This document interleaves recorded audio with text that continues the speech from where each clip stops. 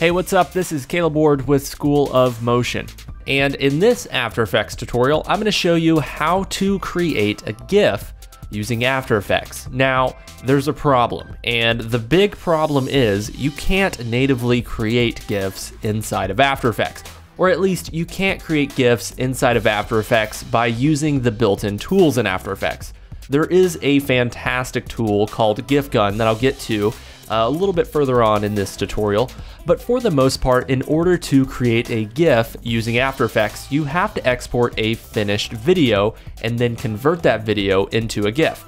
Now, the good thing is, if you use the Creative Cloud, and if you're watching this video, there's a really good chance that you do, you will actually be able to use Photoshop to create a GIF in only a matter of seconds. Now, for this video, I'm gonna show you four different ways to create a GIF using After Effects.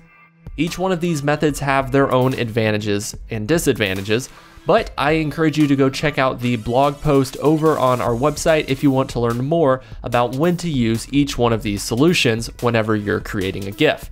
So if you're ready to take your meme game up a notch, let's hop in. So the first method that I want to show you is using Photoshop to export your GIF. Now, the first thing that we're gonna have to do, of course, is export our final video from After Effects. So I'm gonna go ahead and preview this short video clip that we have here. So as you can see, there's not a lot to this. It's just a simple one and a half second looping GIF animation. And we're gonna go ahead and export this video. So go ahead and add it to your render queue. You can hit Shift Command forward slash, or you can just go to Composition, Add to Render Queue. And I'm going to use uh, just one of these presets that I have here. Uh, I'm going to use a ProRes 422 preset, but if you wanted to, you could go into your output module settings and let's say you choose QuickTime, you could then go to your format options and simply just select ProRes 422. But I have my preset saved there, and let me encourage you to go save presets in the future if you do a lot of exporting in After Effects, which you probably do. Uh, so go ahead and set that as your output module, and then I'm going to set my output to my desktop. And we'll keep this as School of Potion, which, you know, is kind of a, a side project we're working on over here at School of Motion. Rhymes are really the best way to choose a good business model. And go ahead and hit render. Excellent. So now if we go to our desktop, we can see that we have a one and a half second video. So go ahead and hop over to Photoshop. Now, you may be surprised to hear this, but you can actually import video into Photoshop. So if you just go to File, Open, we can select our video file from our desktop and hit Open. And you'll also see over here in the Layers panel, there is a new video group layer. So let's go ahead and export this video into a GIF. So to do that, go up to File and Save for Web and it may take just a second to load up on your machine, but once it loads, you'll be able to see and preview your GIF. Now, before I hit that save button, I actually want to walk you through what all of these settings mean here because they're all somewhat important uh, whenever you're exporting a GIF in Photoshop. And, and let me, you know, take this moment to clarify that Photoshop is actually a very highly professional way to export a GIF. There are a lot of very customizable options that are available to you that aren't necessarily available if you use, let's say, uh, Giphy or GIFRocket to export a GIF. So if you want a professional solution, let's say you're working on a design firm's website header, or you need a really polished and fancy GIF for your specific, uh, let's say, website or blog, you probably want to use Photoshop. And besides that, Photoshop gives you these kind of live GIF size readouts before you hit the save button so you can see how big your final GIF is going to be before you export, which makes it extremely helpful to use. So let me go through these settings here before we export and uh, we can get a better understanding of what all of these individual settings mean. So uh, our first setting right here is our color reduction algorithm. And that's just a fancy way of saying this is the way in which Photoshop is going to scan our video and create colors based on the colors found inside of that video. Now, there are a lot of settings that can be kind of confusing here, but the biggest thing to remember is just do whatever makes sense for your individual GIF. So for this specific GIF that we're creating here, I'm gonna leave it on selective, but For example, if you were working with a GIF that had a gradient in it, you might want to use adaptive because it can be a little more smooth, but the file size can also be greater. So it's just this kind of trade off between do you want to have high quality GIFs or do you want to have low file size GIFs? And, and how does color relate to your specific GIF animation that you're trying to export? This GIF only has one, two, three, four, five different colors. Whereas if we were exporting a video, it might have, you know, thousands of different colors and we have to reduce the number of colors down to a specific number. So I'm going to leave it on selective, but it just depends on whatever GIF you're trying to export. And colors is exactly what you might think it is. It's the number of colors that will be in your final GIF. So for example, this GIF that we're working on here, we don't need 256 colors. In fact, if you look down here at the color table, a lot of these colors look pretty much identical. So we can actually change that to a different number. Let's say we want to do 16. Or we could even probably drop this down to 8.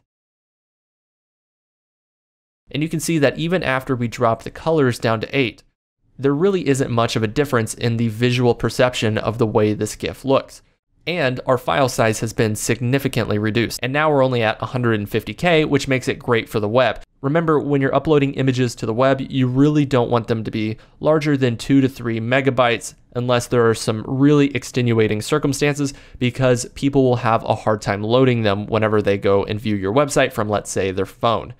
The next box that we can take a look at here is your dithering options. And dithering is just basically colored noise that will be added into your scene.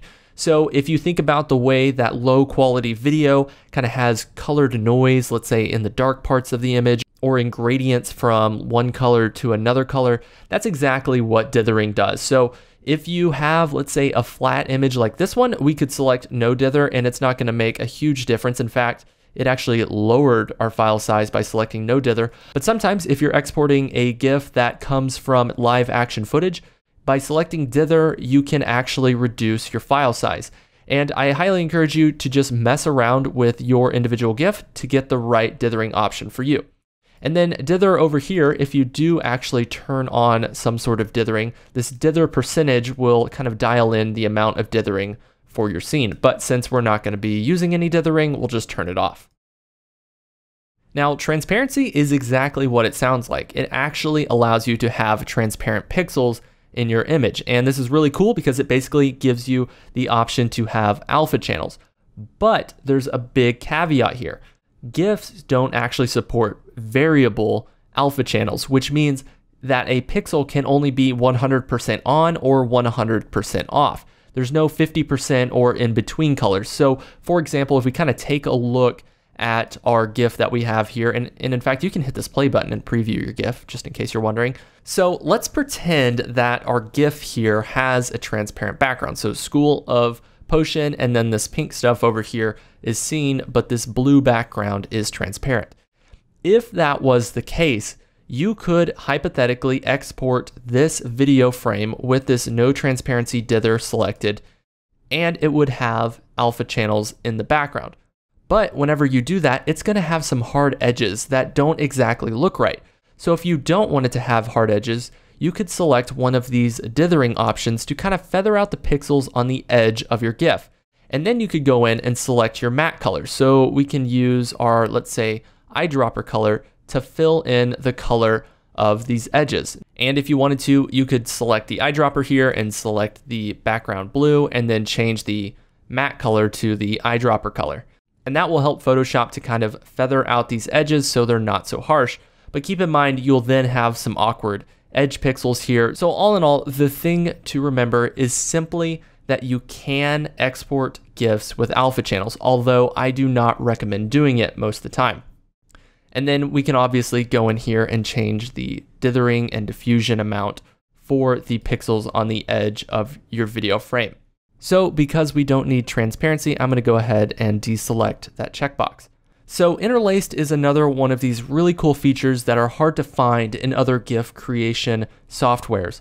So if you select interlaced, it will actually load your GIFs in multiple passes. So there will be a low res pass and then a high res pass.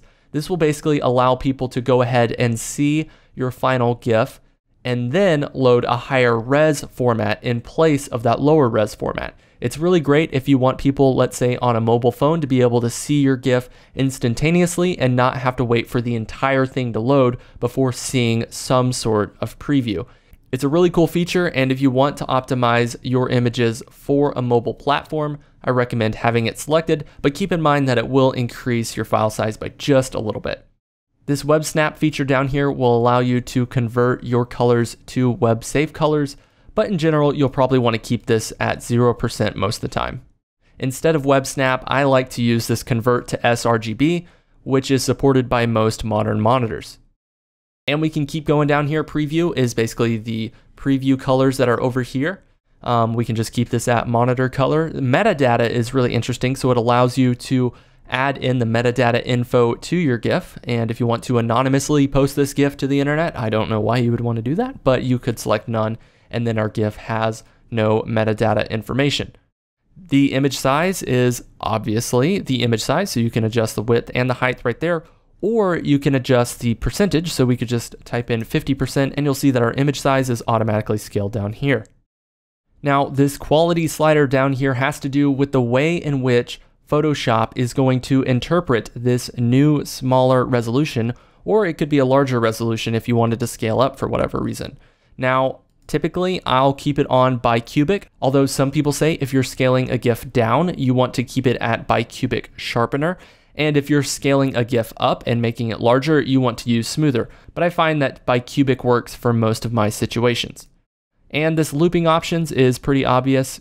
We want to keep it at forever, although sometimes you may want to keep it at once. Let's say you have an animated text that kind of writes on for a website header and then stays on forever we'll go ahead and leave that to once, but for our GIF, we want it to loop, so we're gonna keep it at forever. And once you've done all of those settings, we can actually go ahead and hit save, and we'll save this to the desktop. We'll call this School of Potion, and hit save. And if we preview this, you can see we have a high-res GIF out of Photoshop, and it is super small. If we go to the info here, we can see that it is only 135 kilobytes. That is tiny for images, especially one that is 960 pixels wide. So Photoshop did a really great job, although that took a little bit of time. So now let me show you the fastest way to create GIFs in After Effects. So we're gonna hop back over to After Effects, and we're gonna take a look at a new composition here. So we have this looping video here, and we want to convert it to a GIF. Now, typically you would have to export a video and then convert it using another application. But if you use this amazing tool inside of After Effects called GIF Gun, you can actually create a GIF basically inside of After Effects. And it works super, super easily. So GIF Gun is actually already installed on my machine and you can see that it's uh, basically two buttons, right? Like you have settings or you have make GIF and it doesn't get much easier than that. If we go to our settings here, we can adjust all the settings that you would think you'd be able to adjust. We can change the folder where it is exported to. We can change the width, the number of colors, the frames per second. And for GIFs, typically you don't want to go higher than 15 frames per second. We can keep ours, let's say, at 12. And we can render with lossless. That basically says that the GIF is going to be created from extremely high res video, and that's perfectly fine. And we have this compression here. You know, we can keep this at medium, although you could do none and our GIF would probably be pretty small uh, already. You can see that GIF Gun has the ability to keep alpha channels just like Photoshop, although you don't actually have any of those dithering options, but you know, it's there if you need it. And we have this progressive render option, which if you are resizing your GIF to a different size, you want to make sure that is selected and it will just increase the render speed of your composition. Uh, we have save video copy, which makes sense, saves a copy of the video. We have a looping GIF, which we want this one to loop, and then we have open GIF folder whenever the GIF is done being created, and we want to make sure that's selected. So the only thing I'm going to change here is the custom folder, and I'm going to go ahead and select our desktop and hit open here. So we are going to export our composition to our desktop, and then I'm going to change this width to 940 so it matches the GIF that we created in Photoshop and hit done. And then all you have to do is hit the make GIF button and that's going to send it to your render queue and automatically export it. So now if we go to our desktop, we can see that we have a brand new GIF. And you can see that the quality of this GIF is really high as well. In fact, we can see that the GIF is only 59 kilobytes, much smaller than the Photoshop one. Now, GIFGun is not free. You do have to pay for it, but it is a fantastic tool if you create a lot of GIFs. And if you're anything like me, you will be creating a lot of GIFs in the future. So I highly recommend downloading it. And in fact, you can download a free trial version on AE Scripts. So that's GIFGun. Now let's move on to method number three. So we have this new composition here and it is simple just like the other ones. And let's say we want to make this into a looping GIF. What we're gonna do is use a third party app. So I'm gonna go to composition, add to render queue. And just like before, I'm gonna go ahead and select our ProRes export format. And then we'll make sure this is saved to the desktop and hit render. Now, if we go to our desktop, we can see that the video is exported and it's about two seconds long. And we want to convert this to a GIF. Now, the tool that I'm going to use here is called GIF Rocket, and it is actually only available for Mac, but there are a lot of GIF creation softwares out there. In fact, a quick Google search will reveal uh, quite a few different tools that you can use. So this tool is actually really easy to use. If you just hit the settings here, you can change the width. So we can do 940, and you can change the quality to whatever you want and then drop the video right on top here and it will convert your video to a GIF. And we can see that it's 100 kilobytes and if we play it back here, you know, it looks pretty much just as good as the other GIFs.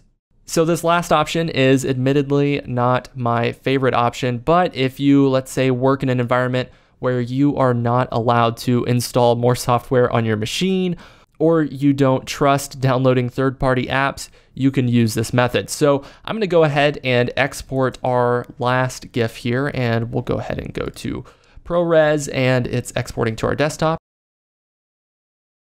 And it rendered out here. And we have, just like before, a one to two second looping video. So what I'm gonna do is actually go to the internet. So we're gonna go to good old Google Chrome here and we can use an online GIF creating service. So I'm going to use Giphy here, but there are literally dozens, if not hundreds of options out there. So I'm going to go ahead and drag and drop our video file into Giphy. And all we have to do is enter in some information here. So we'll do School of Motion, and we'll go ahead and hit upload GIFs. And so this will take just a minute, but it's incredibly fast and incredibly easy to use. And there you go. We have a high quality GIF that is on the internet. And while you're there, you can just go and browse uh, the rest of uh, humanity, which is a little depressing. So those are four different ways to export GIFs in After Effects. Now, before I let you go, I want to show you a few different methods for reducing the overall file size of your GIFs. So one thing to remember when you're exporting a GIF is to keep the backgrounds as simple as possible. We have this looping animation here with this kind of texturized background, but if we exported this GIF, the file size would be much larger than that of this one with a very simple plain background. So keep that in mind. So another thing to remember is that a GIF's file size is very much dependent on the number of colors in your scene. So this one that has a gradient ramp or, you know, this gradient on this kind of potion drop here will actually be larger in size than our original GIF over here. And there's more things to think about. Make sure you go to your composition and composition settings. Make sure your frame rate is low. 12 is fantastic. If you want to reduce your file size, you can also make sure that there are no transparent pixels. Another tip if you're using live action footage is to use a software or a tool like Warp Stabilizer so that your GIF creator can actually blend pixels together between frames and save on file size. So I hope you found this tutorial to be helpful. Now keep in mind that GIFs are a fantastic resource for marketing your skills as a motion designer. So if you're not on Instagram and sharing out your stuff consistently, I highly recommend at least giving it a shot and uh, seeing what other people are doing. You know, it's a fantastic way to get inspiration and share your artwork with others. If you want to learn more about creating GIFs in After Effects, go check out the blog post over at School of Motion. And of course, if you ever want to learn the latest motion design, After Effects, or just industry techniques, go check out School of Motion. This has been Caleb Ward. We'll see you next time.